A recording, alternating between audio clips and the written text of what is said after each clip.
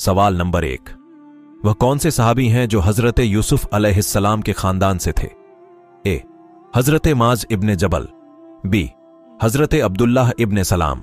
सी, हज़रत जैद बिन हारिसा। डी, हज़रत तलहा।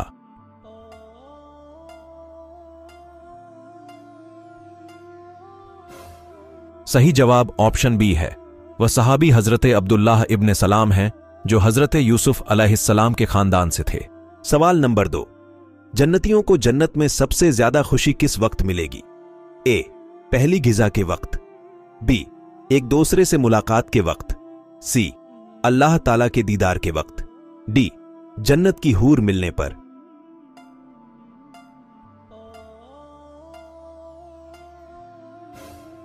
सही जवाब ऑप्शन सी है।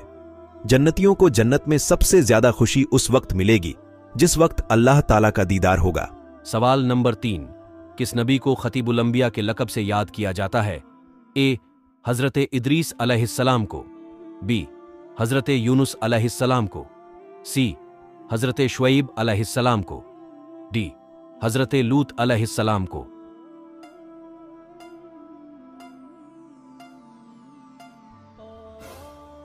सही जवाब ऑप्शन सी है। हज़रत शुएब अलैहिस्सलाम को खतीबुलंबिया के लकब से याद किया जाता है। सवाल नंबर चार। वह कौन सी औरत है, जिन्हें अपने ही बच्चे को दूध पिलाने के बदले रोज़ाना एक अशरफी मिलती थी? ए, हज़रत ईसा अलैहिस्सलाम की वालिदा। बी, हज़रत इब्राहिम अलैहिस्सलाम की वालिदा। सी, हज़रत मूसा अलैहिस्सलाम की वालिदा।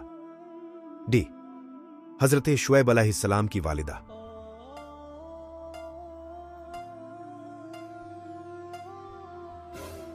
सही जवाब ऑप्शन सी है। वह हज़रत मूसा अलैहिस्सलाम की वालिदा हैं, जिन्हें अपने ही बच्चे हज़रत मूसा अलैहिस्सलाम को दूध पिलाने के बदले रोज़ाना एक अशरफी मिलती थी। सवाल नंबर पाँच। हुजूर सल्लल्लाहु अलैहि वसल्लम के बाद हज़रत जिब्राइल अलैहिस्सलाम सबसे ज़्यादा किस नबी के पास आए? ए, हज़रत आदम अलैहिस्सलाम बी, हज़रत नूह अलैहिस्सलाम सी, हज़रत इब्राहिम अलैहिस्सलाम डी, हज़रत मूसा अलैहिस्सलाम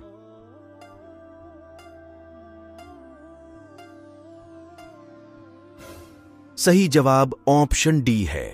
हुजूर सल्लल्लाहु अलैहि वसल्लम के बाद हज़रत जिब्राइल अलैहिस्सलाम सबसे ज़्यादा हज़रत मूसा अलैहिस्सलाम के पास आए। सवाल नंबर छह हजरतें जिब्राइल अलैहिस्सलाम हज़रत मूसा अलैहिस्सलाम के पास कितनी मर्तबा तशरीफ़ लाए? ए, सौ मरतबा। बी, दो सौ मरतबा। सी, चार सौ मरतबा। डी, छह सौ मरतबा।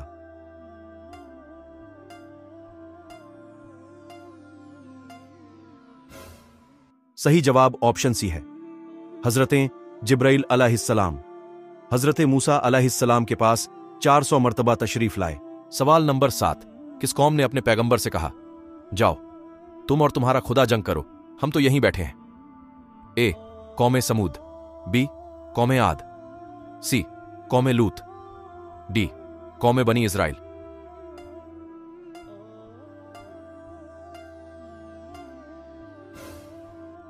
सही जवाब। ऑप्शन डी है। कौमे बनी इसराइल ने अपने पैगंबर से कहा, जाओ, तुम और तुम्हारा खुदा जंग करो। हम तो यहीं बैठे हैं। सवाल नंबर आठ। हज़रत उमर के उस चचाजाद भाई का नाम बताइए, जिन्होंने हुजूर सल्लल्लाहु अलैहि वसल्लम के ऐलाने नबुव्वत से पहले ही बुत परस्ती छोड़कर दीन हनीफ यानी इब्राहिम अलैहिस्सलाम के दीन को इख्तियार कर लिया था। A. Zubair bin Sibat. B. Sahra ibne Insha. C. Zaid bin Amr. D. Talha ibn Khaisam.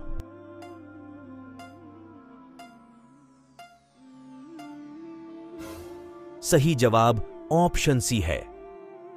हज़रत उमर के उस चचा जाद भाई का नाम जैद बिन अम्र है, जिन्होंने हुजूर सल्लल्लाहु अलैहि वसल्लम के ऐलाने नबुव्वत से पहले ही बुत परस्ती छोड़कर दीन हनीफ यानी इब्राहिम अलैहिस्सलाम के दीन को इख्तियार कर लिया था।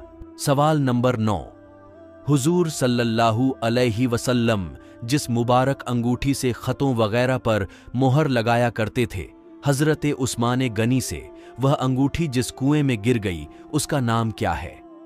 ए, बीरे मऊना, बी, बीरे साद, सी, बीरे रसीस, डी, बीरे शिफा।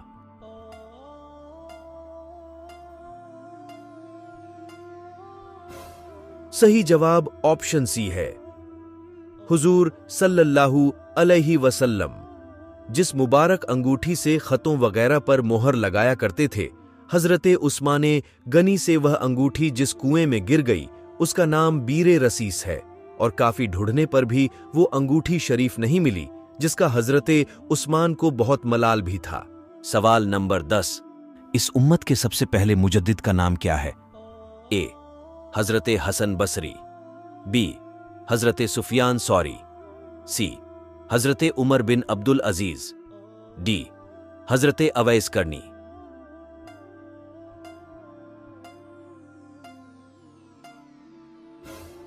सही जवाब ऑप्शन सी है। इस उम्मत के सबसे पहले मुजद्दिद का नाम हज़रत उमर बिन अब्दुल अज़ीज़ है। सवाल नंबर ग्यारह। किस नबी की कौम नाप तौल में कमी करती थी? ए, हज़रत नूह अलैहिस्सलाम। बी, हज़रत शुएब अलैहिस्सलाम। सी हज़रत लूत अलैहिस्सलाम डी, हज़रत हूद अलैहिस्सलाम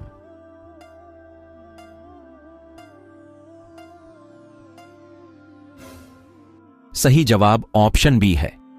हज़रत शुएब अलैहिस्सलाम की कौम नाप तौल में कमी करती थी। सवाल नंबर बारह, जहन्नम में एक ऐसी वादी है जिसमें पहाड़ डालें तो वो भी पिघल जाए, उस वादी में किन लोगों को डाला जाएगा? ए, शराबियों को। बी नमाज़ में सुस्ती करने वालों को, सी, नाप तौल में कमी करने वालों को, डी, बी और सी दोनों।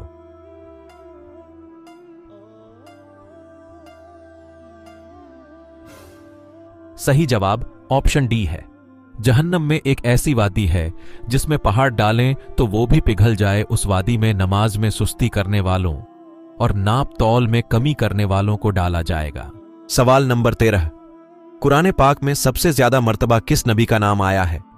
ए, हज़रत आदम अलैहिस्सलाम बी, हज़रत ईसा अलैहिस्सलाम सी, हज़रत मूसा अलैहिस्सलाम डी, हज़रत नूह अलैहिस्सलाम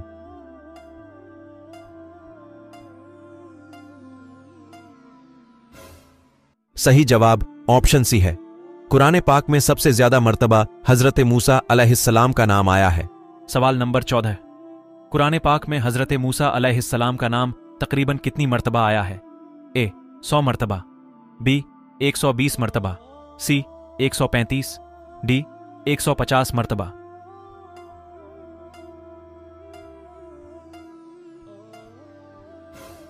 सही जवाब ऑप्शन सी है।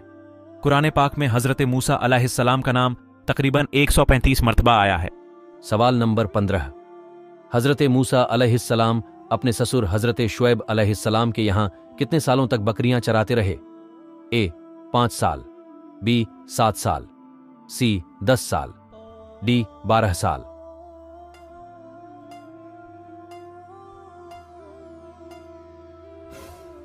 सही जवाब ऑप्शन सी है। हज़रत मूसा अलैहिस्सलाम अपने ससुर हज़रत शुएब अलैहिस्सलाम के यहाँ दस सालों तक बकरियाँ चराते रहे। सवाल नंबर सोलह। ईरान के सबसे पहले शख्स जिन्होंने इस्लाम कबूल किया, उनका नाम क्या है? ए, हज़रत साद, बी, हज़रत सईद, सी, हज़रत सलमान फारसी, डी, हज़रत तलहा।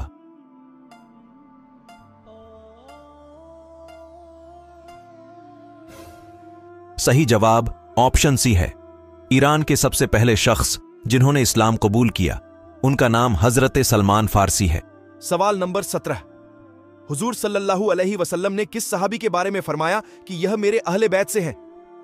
ए, हज़रत बिलाल, बी, हज़रत सुहैब, सी, हज़रत सलमान फारसी, डी, हज़रत तलहा।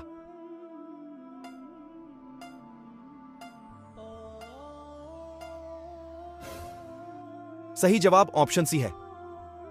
हुजूर सल्लल्लाहु अलैहि वसल्लम ने हज़रत सलमान फारसी के बारे में फरमाया कि यह मेरे अहले बैत से हैं। सवाल नंबर 18 एक नबी तकरीबन 10 साल तक कैद खाने में रहे, उनका नाम क्या है? ए, हज़रत अयूब अलैहिस्सलाम बी, हज़रत याकूब अलैहिस्सलाम सी, हज़रत यूसुफ अलैहिस्सलाम डी, हज़रत यहिया अलैहिस्सलाम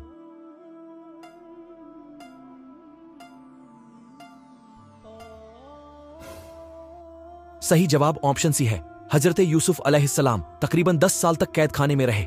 सवाल नंबर 19 उस कौम का नाम क्या है जिसको अल्लाह ताला ने बेमिसाल गिजा? अता फरमाई उसके बावजूद, उस कौम ने अल्लाह ताला की नाशुक्री की। ए, कौम नूह, बी, कौम हूद, सी, कौम आद, डी, कौम बनी इसराइल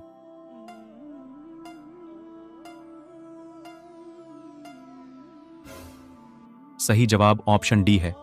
उस कौम का नाम बनी इसराइल है जिसको अल्लाह ताला ने बेमिसाल गिजा। अता फरमाई उसके बावजूद उस कौम ने अल्लाह ताला की नाशुक्री की। सवाल नंबर 20 वह कौन से नबी हैं जो गुस्ल फरमाने के लिए कपड़ा उतार कर पत्थर पर रखे थे तो पत्थर आपका कपड़ा लेकर भागने लगा? ए, हज़रत आदम अलैहिस्सलाम बी, हज़रत नूह अलैहिस्सलाम सी, हज़रत मूसा अलैहिस्सलाम डी, हज़रत ईसा अलैहिस्सलाम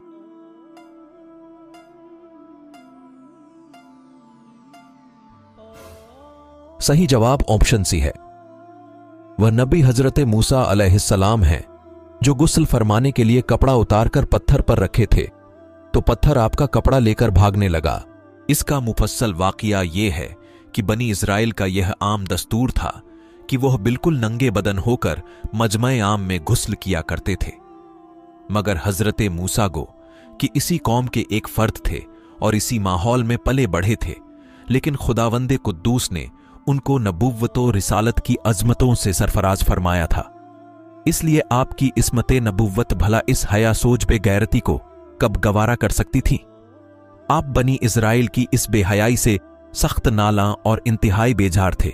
इसलिए आप हमेशा या तो तन्हाई में या तहबंद पहनकर गुस्ल फरमाया करते थे।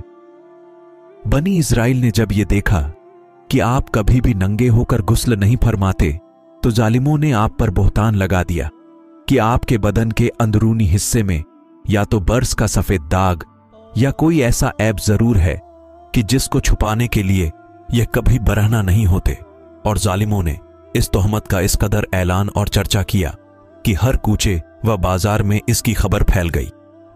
इस मकरूह तोहमत की शोरिश का हज़रत मूसा अलैहिस्सलाम के कलबे नाजुक पर बड़ा सदमा व रंज गुजरा और आप बड़ी कोफ्त और अजियत में पड़ गए। तो खुदावंदे कुद्दूस अपने मुकद्दस कलीम के रंजो गम को भला कब गवारा फरमाता और अपने एक बरगुजिदा रसूल पर एक ऐप की तोहमत भला। खाली के आलम को कब और क्यों कर और किस तरह पसंद हो सकती थी? अल्लाह ताला ने आपकी बरात और बेऐबी ज़ाहिर कर देने का एक ऐसा ज़रिया पैदा फरमा दिया कि दम जदन में बनी इसराइल के शुकू को शुभहात के बादल छट गए और आपकी बरात और बेऐबी का सूरज आफ्ताब आलम ताब से ज़्यादा रोशन हो गया। और वो यूँ हुआ कि एक दिन आप पहाड़ों के दामनों में छुपे हुए एक चश्मे पर गुस्ल के लिए तशरीफ़ ले गए और ये देखकर कि यहाँ दूर दूर तक किसी इंसान का नामो निशान नहीं है, आप अपने तमाम कपड़ों को एक पत्थर पर रखकर और बिल्कुल बरहना बदन होकर गुस्ल फरमाने लगे। गुस्ल के बाद जब आप लिबास पहनने के लिए पत्थर के पास पहुँचे तो क्या देखा कि वह पत्थर आपके कपड़ों को लिए हुए सरपट भागा चला जा रहा है। ये देखकर हज़रत मूसा अलैहिस्सलाम उस पत्थर के पीछे पीछे दौड़ने लगे और फरमाने लगे, सौ बी हजर, सौ बी हजर। यानी आय पत्थर, मेरा कपड़ा आय पत्थर, मेरा कपड़ा। मगर ये पत्थर बराबर भागता रहा। यहाँ तक कि शहर की बड़ी बड़ी सड़कों से गुजरता हुआ गली कूचों में पहुँच गया और आप भी बरहना बदन होने की हालत में बराबर पत्थर को दौड़ाते चले गए।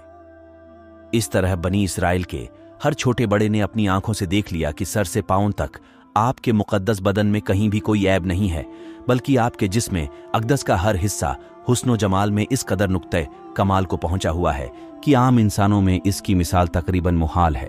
चुनानचे बनी इसराइल के हर हर फर्द की जबान पर यही जुमला था कि खुदा की कसम मूसा बिल्कुल ही बेऐब हैं।